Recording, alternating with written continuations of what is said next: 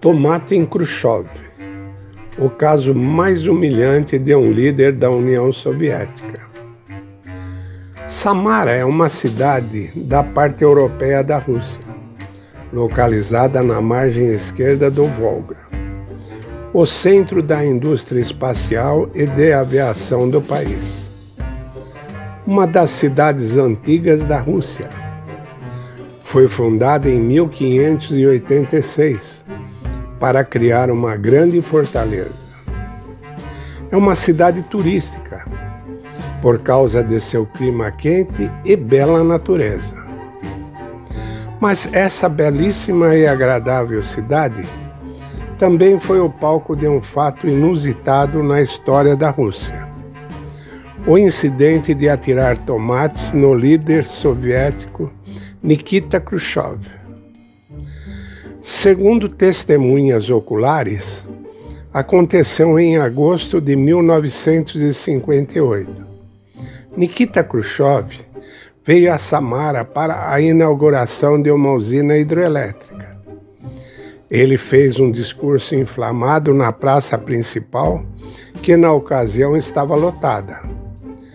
Os tempos eram difíceis, as lojas estavam vazias sem mantimentos para comprar, sem sapatos, não dava para se vestir adequadamente.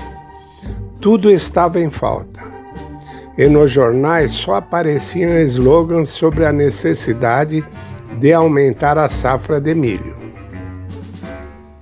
Para piorar, o governante, sem cerimônia, forçou uma multidão de dezenas de milhares de pessoas a ficarem sob o sol escaldante por várias horas esperando o seu comício. A inauguração oficial não começou na hora marcada. No calor, as pessoas passaram várias horas para ouvir de Khrushchev palavras completamente diferentes das que gostariam. Ele literalmente criticou o trabalho dos construtores locais Disse que eles demoraram e gastaram muito dinheiro. As pessoas ficaram de boca aberta. Para eles, tudo o que soava era um verdadeiro insulto. Os samaranos se empenharam muito na construção da hidroelétrica e seu trabalho não foi reconhecido.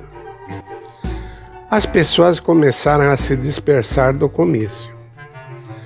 Os samaranos resmungaram, assoviaram e interrompiam o discurso de Khrushchev com exclamações: Onde estão os produtos? Por que não há sapatos e roupa nas lojas?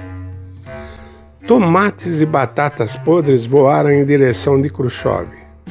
Os tomates podres não atingiram o presidente, mas ele ainda preferiu retirar-se do palanque e não fez mais tentativas de se aproximar dos habitantes revoltados. É claro que essa ofensa não ficou impune. Os moradores de Samara lembram que após a saída de Khrushchev, a cidade começou a ser abastecida com alimentos piores do que antes. A propósito, um ano antes de Khrushchev ser destituído de seu cargo, ele foi novamente atacado, não com tomates, mas com pedras, em novembro de 1963, durante os tumultos em Sumgait, no Azerbaijão. Um retrato do presidente foi apedrejado. Desta forma, o povo protestou contra as péssimas condições de vida. Uma curiosidade interessante é que Nikita Khrushchev não guardou rancor desse legume que na verdade é uma fruta. Muito pelo contrário. Depois de se aposentar, cultivou tomates. Nikita ficou muito orgulhoso quando conseguiu tirar mais de 10 quilos de um arbusto. A propósito, o cultivo de mudas fascinou Khrushchev, não menos do que governar o país, com a diferença que cultivar tomates deu certo.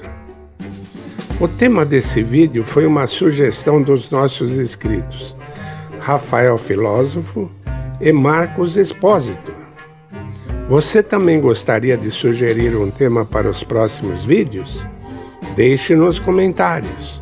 Sua participação é muito importante. Todo o conteúdo do canal agora em livro. O link para a venda está na descrição do vídeo. Inscreva-se em nosso canal e ative as notificações.